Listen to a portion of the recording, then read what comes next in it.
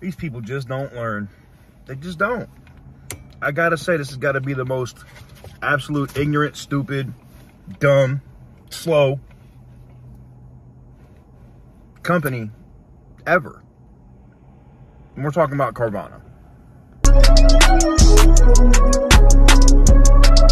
what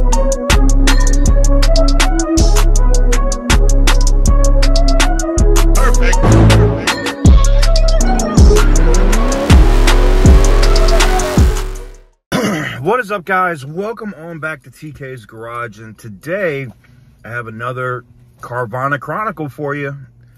Um this one in, in a state that we haven't really heard a lot about when it comes to carvana. So a gentleman in missouri buys a a subaru right wants to have this good all-wheel drive car.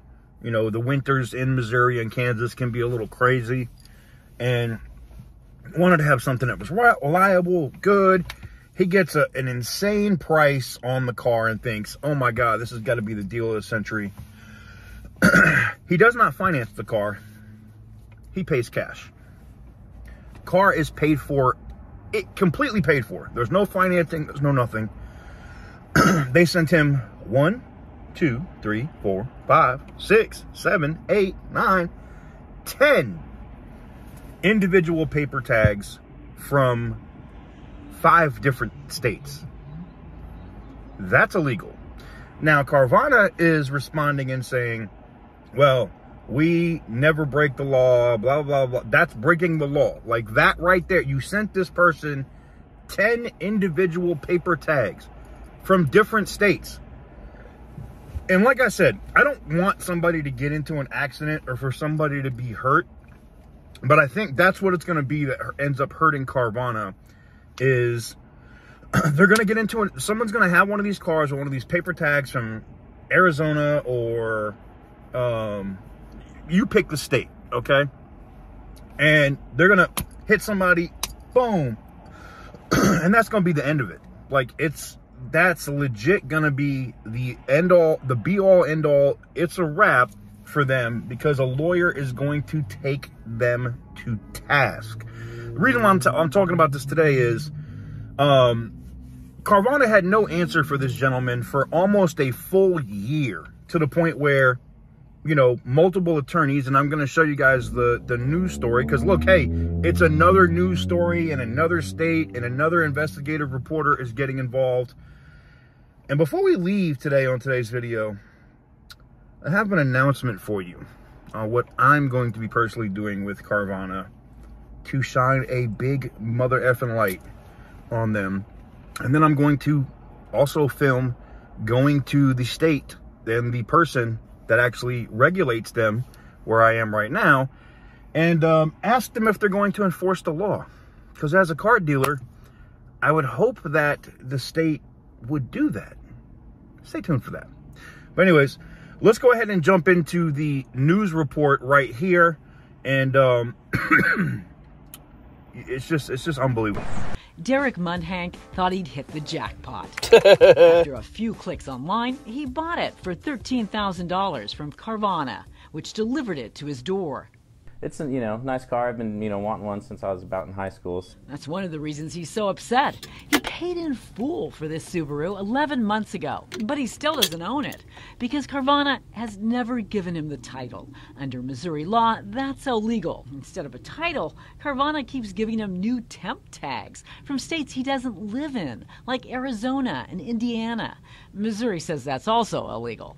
So where's the title? Just dance around the subject and never give me a legit answer, and they always give me false or misleading information on documents that I could use instead of the title. Carvana had the nerve to tell Derek to take the title application to the DMV and try to register the car with that instead of the actual title. Well, that didn't work. I told the lady I bought a car from Carvana, and she chuckled at me. That's because Derek's not alone. Fox 4 problem solvers discovered hundreds of customers across the country are having the exact same problem, and states are cracking down. North Carolina's Attorney General temporarily suspended Carvana from selling cars in Durham after failing to deliver a title. Carvana is also on probation in Michigan, and Florida has threatened to pull the company's license if it doesn't clean up its act.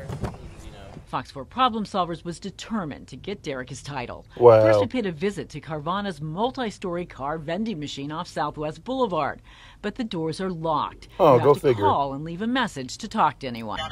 Under Missouri law, titles are supposed to be handed over the day of the sale, but Audrey told us that Carvana operates under a special rule called 5830 which gives it more time. Well, we read 5830. It gives Carvana exactly a month to hand over the title or give Derek his money back. And remember, Derek's been waiting 11 months.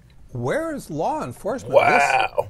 This, Missouri AG, Kansas AG, get rolling on this. This is your job. People buy cars and can't get titles. Kansas City Attorney Bernard Brown says what happened to Derek is inexcusable and needs to be investigated. He says without a title, Derek could be arrested for even driving this car. That, that, that's it's uh, very much against the law to operate that car. Bernard Brown isn't the only consumer lawyer paying attention. In Pennsylvania, attorney Robert Cocco is suing Carvana in both Pennsylvania and Arkansas. He's heard from dozens of angry customers, I would say at this point, probably 40 or more people all with similar experiences. indicates that it is a problem that's that is out of control. In a court filing, Carvana denies that it has repeatedly violated state law and defrauded customers. Sure you did. As far as Derek's predicament, Carvana didn't answer any of our questions about why it sold him a car without a title. Instead, we received this two sentence response Thank you for your patience. We are committed to ensuring the customer's needs are met and the issue has been resolved. Best, Veronica Cardenas, Senior Specialist Public Relations. That day, Derek received this in the mail.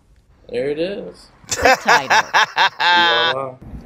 So, as you can see, at least for this gentleman, Derek, he did finally get his title, but it's crazy until the media gets involved and there's stories and shit on stuff that, like, just do your job, Carvana. If you don't have the title to a vehicle, don't sell it. Now, this is where it sucks for them, but let me tell you what I've done. I feel like they're defrauding their investors at this point because like it's a shell game what they have going on right now with money. And the sec loves to expose that kind of stuff. So i reached out. I, you know basically laid out what i think is going on at carvana with these vehicles and money and and whatnot. And carvana and i also reached out to the irs because you know carvana is probably not paying taxes on vehicles that they don't own so they're getting profit from a vehicle for over a year and not paying the IRS taxes on it. Huh. That could be a massive problem. So, between the SEC and the IRS, probably the SEC before the IRS, is will probably take an action on it because I really, I personally look from the bottom of my heart, I really feel bad for those investors in Carvana. oh, my bad. Um, but in all seriousness, we're gonna be doing a couple different things coming up this week where, um, and I'm not gonna say where I'm gonna do it. It's not obviously here because I know I'm here. But I've I found a location where they ha- we're having massive issues with these plate issues, and it's gonna be funny. You know, I'm gonna I'm gonna get all geared up. We're gonna we're gonna face paint the whole nine, and I'm gonna go out there and I'm gonna get photographic evidence and video evidence, and then we're gonna track these cars from the Carvana dealership if they're delivering them. Because what I've what's what I've seen what some Carvana dealerships are doing is they're already hip. You know, when the owner or the founder of your company is a criminal, I get it. So they're not putting the plates on the cars before they leave. They're putting the plates on the car, the paper plate on the car when they get it to the house now. Because other reporters have gone there to try to film the cars leaving with out of state plate out of state plates. So um I'm gonna do that. I'm gonna get photographic evidence, like of stuff that they're doing. I'm gonna try to catch them, you know, like when they're bringing vehicles in, if they're actually doing these 150 point inspections.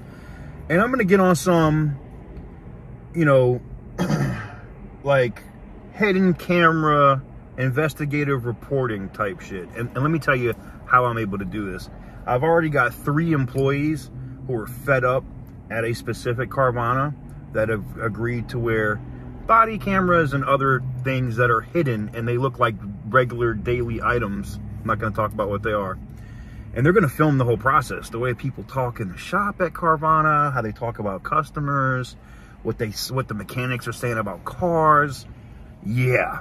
You want to talk about blowing something wide open? Yeah. Yeah, because I have a feeling that when I drop that video and we look at all the different laws that Carvana is breaking, if this state attorney general in the state that we're about to do this does not take action, yeah, I think you're going to get voted out in November. With that said, let me know what you guys think in the comment section down below. And I probably think that every media organization that has done something with Carvana, I'm going to give them full access and use to use my video in their story. And um, hashtag roasting. Where it's time to it's time to roast, man. I got look. Here's the thing, man. Uh, and I've actually reached out and I've actually talked to three different customer experience exec, whatever the hell that their whatever title is, and they said that they're you know they're catching up and this is no longer an issue. That was a month and a half ago. We keep seeing these stories. So, uh, anyways, let me know what you guys think in the comment section down below. I think it's going to be interesting. I'm going to have fun with it. Um, you guys are going to laugh. Like, you're going to be like, this dude this dude is not out here in some camo with face paint on. Looking like he just came out of an episode of Jack Reacher. Yes. Yeah, yeah. We're, we're, I got to do it, man. It's, it's funny. It is funny. But what's funny is, like, I'm going to get all done up. You know what I'm saying? And I'm probably going to be right there on the property. And they're not ever going to see me, man. I'm just going to sit there, you know, with a camera instead of what I would normally sit there with. just take pictures and video. And then we'll use those employees that are inside the building to catch all of the damning shit. The stuff I'm going to be doing is just for fun and to be funny. So I think you guys are going to enjoy that. Anyway, that's coming soon. Actually, at the time of me recording this video, I leave tomorrow to go do that. So, yay. Anyways, let me know what you guys think in the comment section down below. Thank you guys very much for watching. And uh, yeah, I'll see you guys on the next one.